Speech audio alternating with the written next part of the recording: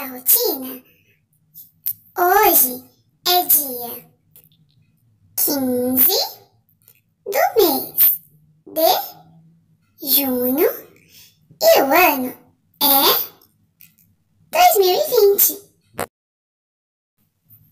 Estamos em uma segunda-feira. As atividades do dia serão entrada inglês, ciências, matemática, pausa para o lanche, educação física, matemática e saúde.